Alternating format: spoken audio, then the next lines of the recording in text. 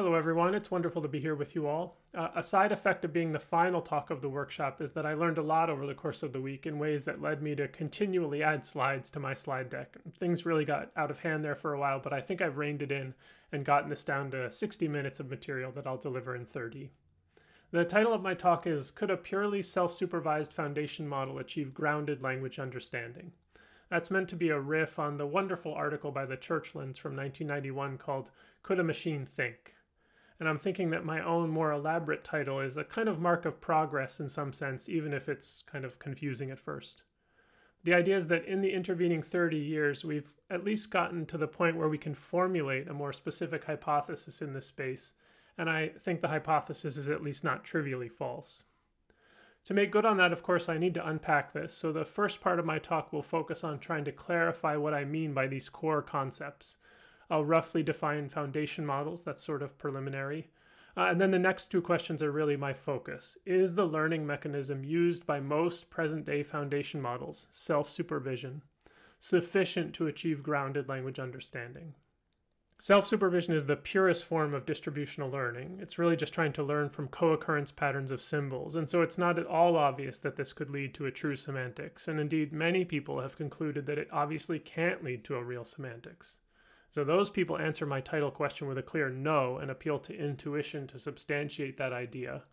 Um, but I myself am going to uh, paint a much more optimistic picture. I'm going to be so bold as to say yes and then hedge a little bit. At the very least, no one has presented compelling evidence that the answer is no as of yet. I'm not going to have too much time to talk about the Churchlands piece, but I do want to quickly pull two things out of it.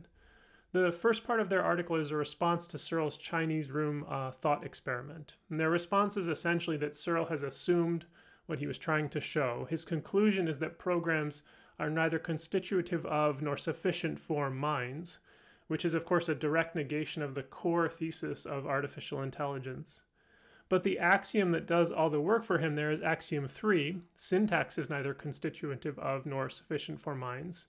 Uh, and so obviously he's assumed what he intended to show. And I, I think I find that view from the Churchlands per- persuasive. But the more important part for me is the second part of their piece, which very clearly envisions the future that we now live in. That part is about neural networks. And let me read this passage from their piece. Searle is aware of neural networks, but thinks they too will be devoid of real semantic content. To illustrate their inevitable failure, he outlines a second thought experiment, the Chinese gym, which has a gymnasium full of people organized into a parallel network. And from there, his argument proceeds as in the Chinese room.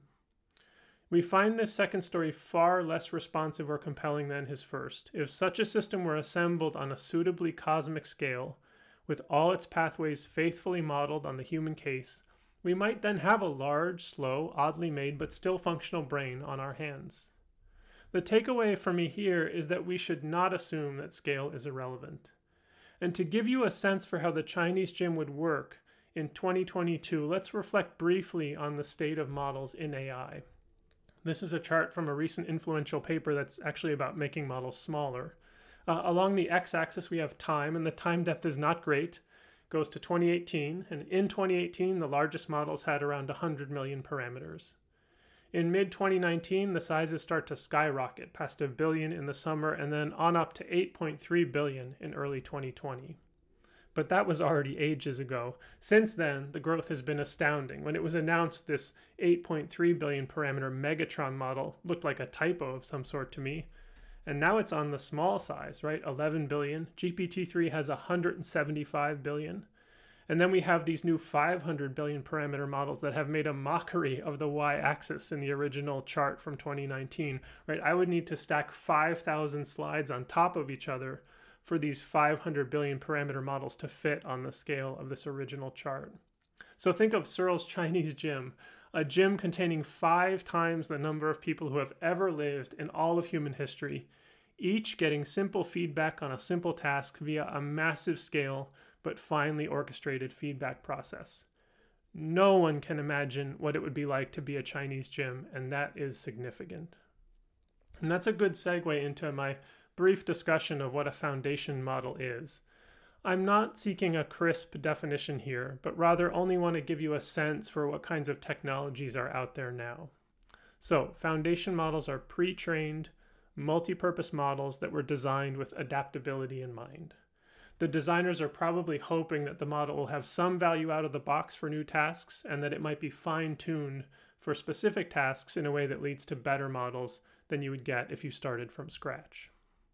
The best of these models right now are very, very large, as we just saw, but I don't think that's inevitable or definitional.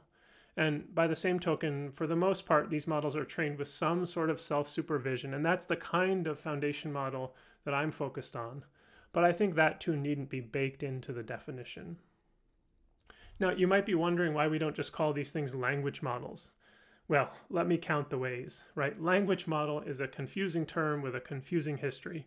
For me as a linguist, it feels sort of like an overclaim, uh, even if we do limit to the case where all the data being used are from people's utterances in natural language. But of course, even the things that we still call language models, like GPT-3, were trained on symbol streams that are highly diverse, language, but also metadata, computer code, mathematical notation, and on and on. And language models also incorporate lots of other modalities now very directly, images, audio, video. So if we keep calling these models language models, we're just going to confuse everyone, probably including ourselves.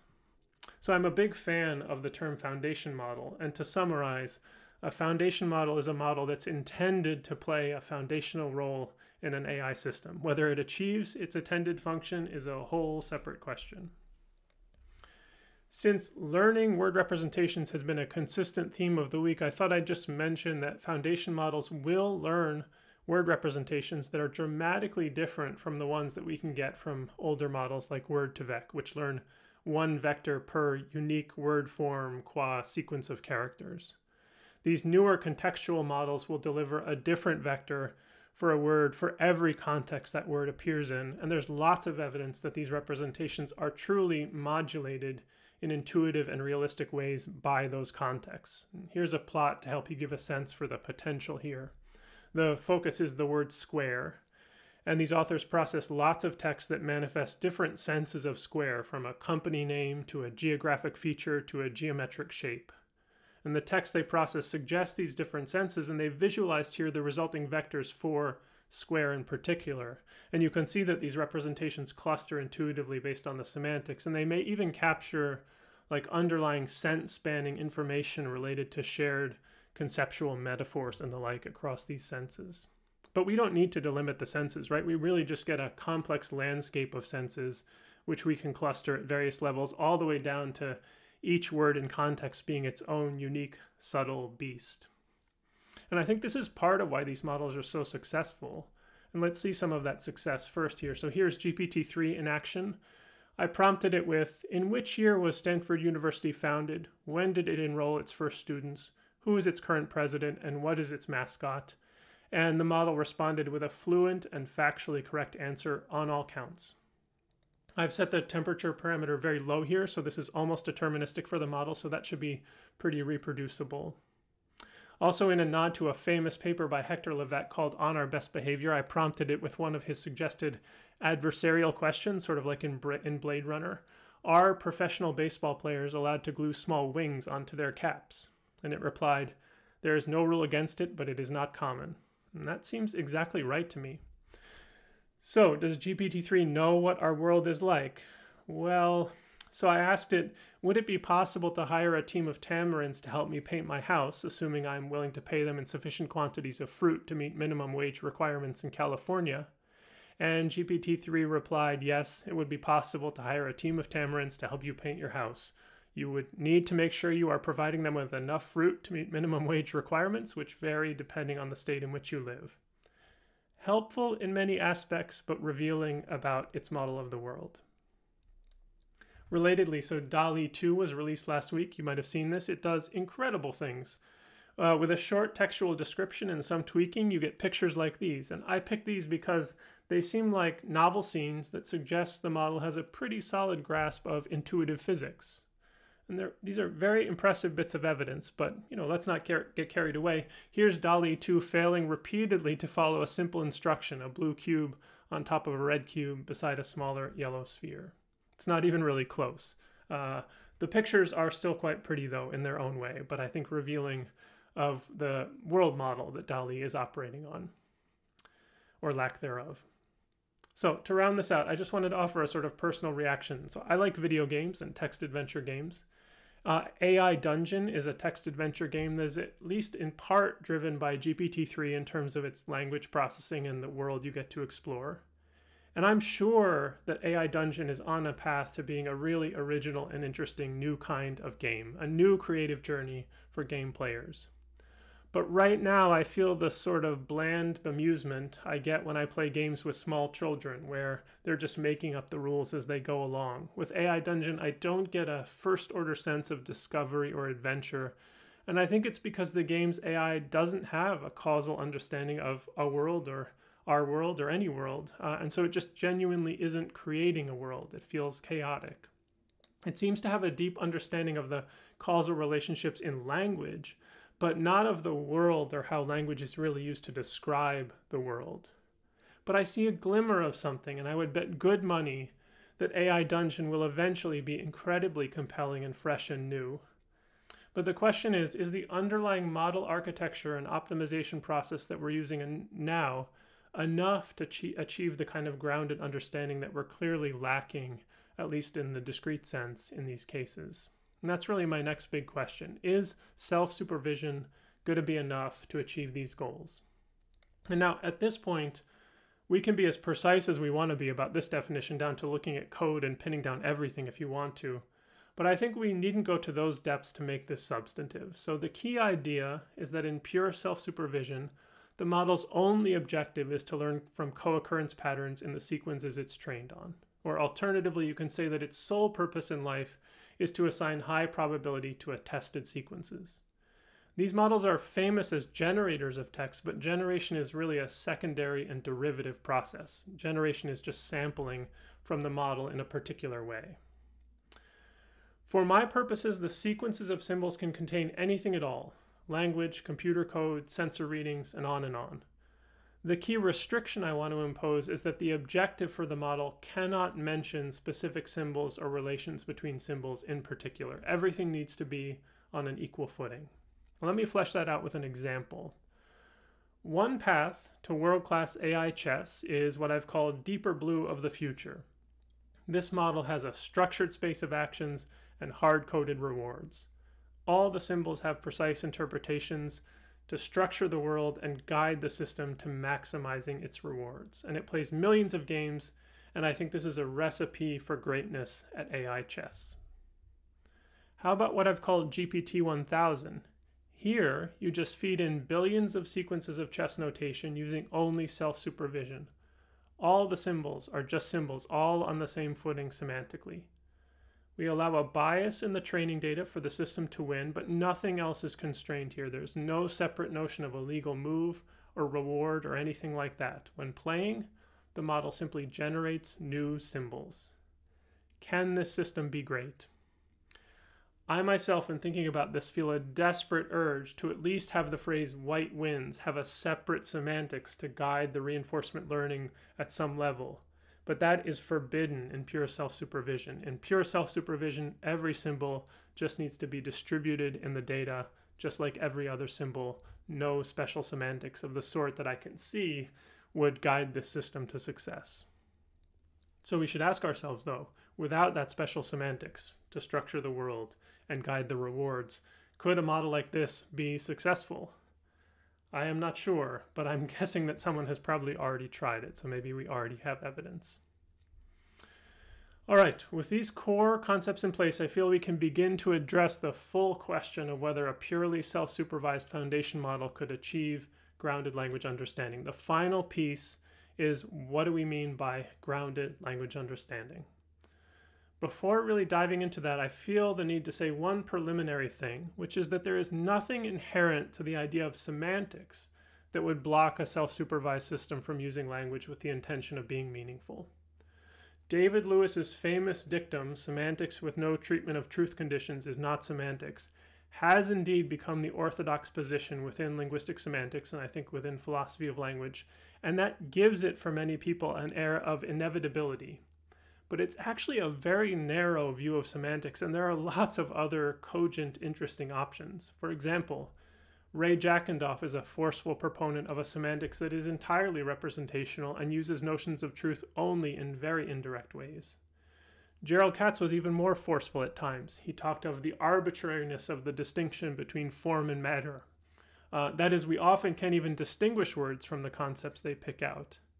And in turn, natural logic is a mature, formalized approach to reasoning in which one defines proof systems entirely on natural language surface forms. These logics often admit of soundness and completeness proofs, but the model theory is optional, and we can construe that as kind of the core claim if we want to. And finally, Will Merrill, currently a PhD student at NYU, has been producing incredible formal results that point to the idea that, within some limits, rich truth conditional semantics can be induced from distributional data with certain biases toward what you might call discourse consistency for the corpus itself. So there, this is all to say that there are rich and interesting conceptions of semantics that even invite the inference, welcome the possibility that self-supervision on symbol streams could suffice for a genuine semantics. With apologies to Lewis, there are many more options than the one he envisioned.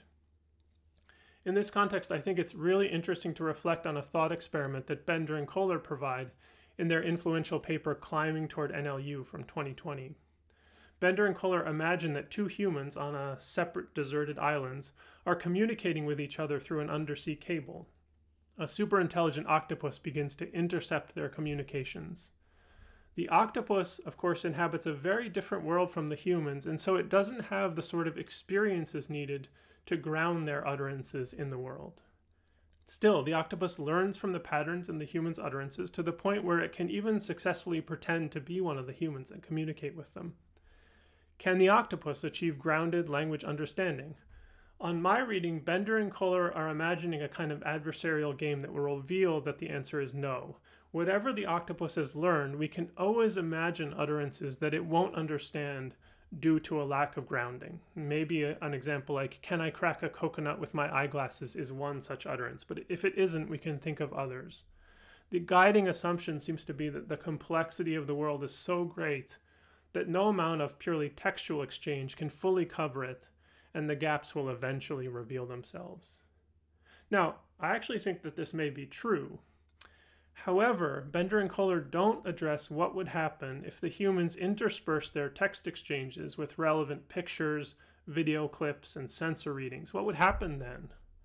The octopus could then observe certain associations and begin to achieve what would seem to us, I think, to be a kind of grounded understanding. So if we return to the language models, I think we might grant that it's hard to really understand what, say, peanut butter and jelly sandwiches are and what it means to make them if you have only textual descriptions. But suppose the symbol stream includes demo videos and sensor readings, right? To the model, these will just be streams of symbols. So the model will have to induce the semantic associations in the right ways and at the right levels of granularity to kind of align with what we think things mean. But I don't think anyone has offered an argument that that's impossible in principle. And in fact, the success of foundation models kind of suggests to me that it is possible. All right, with those broad roadblocks hopefully moved out of the way, I'd like to refine the core questions a bit further. So, how might we think about understanding? I'm sure there are lots of ways, and not all of them are even in competition. Um, but I'd like to highlight two really broad views here that I think are especially relevant to AI. The first is a kind of behavioral view, where we say that understanding is purely dispositional and behavioral. The second broad view would go deeper, and there are kind of two variants of this, and both of them require a particular mapping between language and something else that we could call meaning. The internalist view is that understanding amounts to achieving the right kinds of internal representations, that's like Jackendoff. And the referentialist view is that understanding amounts to achieving the right links between language and the world, that's like Lewis. As I said, though, both those views require a specific mapping, a specific causal story about how language and the world relate to each other. And so I'm mostly going to lump them together and just ask the question how could we determine whether a system had achieved the requisite kind of matching. Okay, with those views in mind, the broader question is how could we determine whether a system had achieved understanding on either of these two broad views of understanding? Now, for behavioralism, we just run some behavioral tests, and we do that all the time in AI. However, this is noteworthy. What practitioners actually do in AI is run tests, behavioral tests, and if the system passes them, then they just call the test into question. And I think that reveals a creeping internalism or referentialism, even as we behave like behavior is all that matters. So, in the end, I think all of us are going to resort to methods that one would use for internalism and referentialism. That would be structural analysis and assessment methods. We want to peer inside these so called black boxes. So with that in mind, let me start to wrap up here by offering some practical advice and concrete results that relate to these different conceptions of understanding and how to probe for it. First, in the behavioral mode, I just want to remind everyone that foundation models are sort of alien creatures. What's intuitive for us may not be intuitive for them, but that alone is not evidence that they lack intelligence. For example, if you just prompt the foundation model with the question, What is pragmatics? and it replies, What is semantics? Who are you to say that that was wrong? Your prompt was consistent with numerous underlying intentions. Perhaps, well, for all the model knows, you wanted to riff with it on the topic of linguistics. So we've all seen this and learned that prompt construction is important. What we might do is teach the model in context what our intentions are by giving it a few examples to nudge it toward a response that will align with our, our intentions. Here's another example. Suppose I want to see whether a foundation model understands basic aspects of reasoning in language. There's an established task for that called natural language inference or NLI. For NLI, you're given a premise hypothesis pair and asked to label it as entailment, contradiction, or neutral. It's very tempting with a foundation model to try to convert that task directly into a prompt, as I've done here on the left. But no present day models, as far as I know, are good at this, not without some task specific training. Does that mean that they don't know how to do this basic reasoning? Well, maybe, but the inference there would be too hasty. If you formulate these problems as questions with constrained answers, as I've done on the right, then they do much better. And perhaps that shouldn't surprise us. After all, these models experienced a lot of the kinds of language that you see on the right during training, whereas what's on the left is very unusual in their overall experiences. And by the way, the task on the left is much harder for humans too than the task on the right. So here it might just be that the AI researchers are confusing everyone and everything. But I think we're learning how to communicate with these foundation models. I'm also very optimistic about structural analysis methods as providing a window into the solutions that these models have found. One of the first structural analysis methods to make a splash in the BERT era was probing. In probing, one targets an internal representation in a target model to see whether that representation encodes a specific kind of information of interest.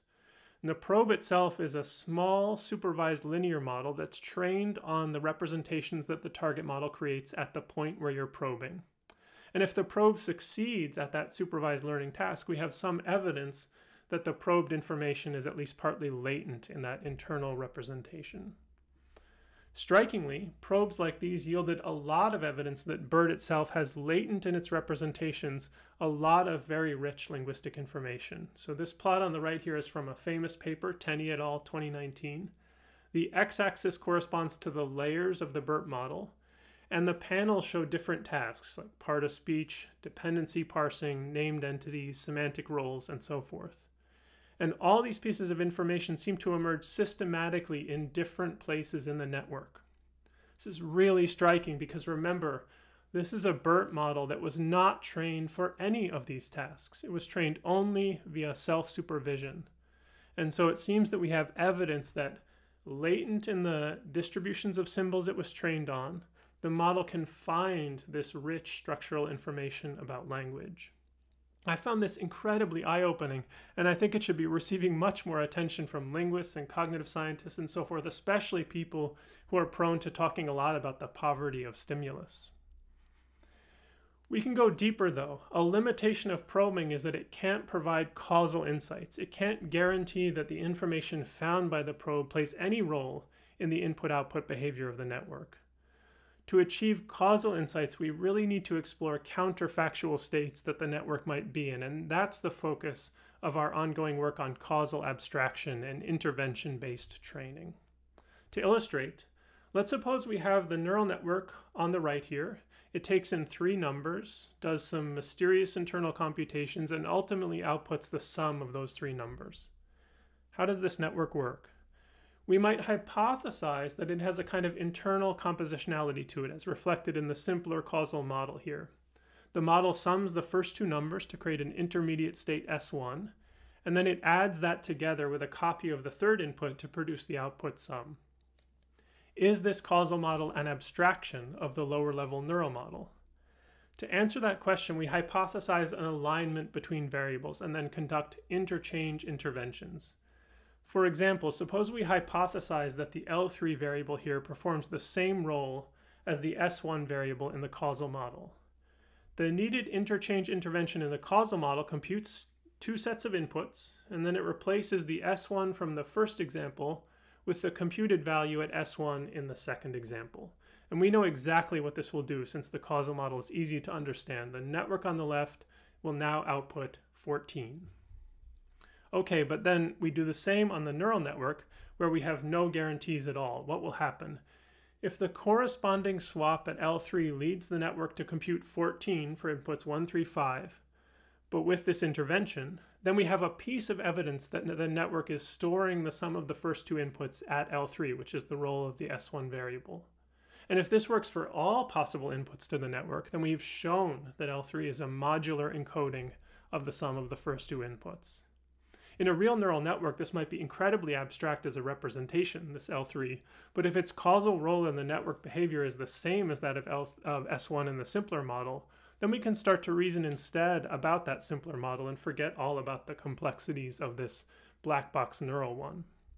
Now we can do the same for a hypothesis about how to relate L1 in the neural network with an intermediate variable W in the causal model that encodes the third input right? We perform an intervention in our causal model at the double W variable and we record the new output.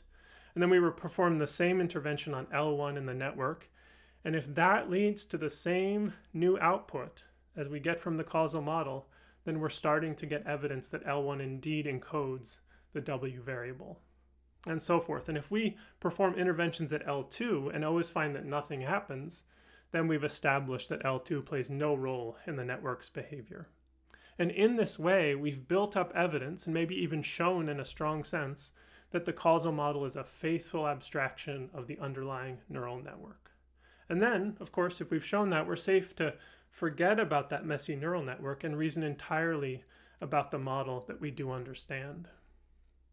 So to wrap this up, let me just go beyond my toy example and mention a few ways in which these ideas have been put into action in large-scale neural networks uh, for problems in AI. So we've shown that fine-tuned BERT models succeed at hard, out-of-domain examples involving lexical entailment and negation because they are abstracted by simple monotonicity programs. We've shown that models succeed at the very hard versions of the MNIST pointer value computer vision task because they are abstracted by simple programs like if the digit is 6, then the label is in the lower left, which is the structure of the pointer value problem, one part of it. And we can now go beyond the sort of passive study that I just showed you and use that same interchange intervention methodology to train neural models to better conform to the high-level causal models that we have in mind. That's very exciting. So this leads me to my final claim. If a foundation model succeeds at hard language generalization tasks in some domain and simulates a high level causal model of that domain and the language used to describe it, then surely it has achieved grounded language understanding in that domain. It's not clear to me what else there could be to this notion of grounded language understanding. And it's essentially that nuance claim, together with the evidence that I presented earlier, that lead me to answer yes to the question, could a purely self-supervised foundation model achieve grounded language understanding? A fairly confident yes. Thank you.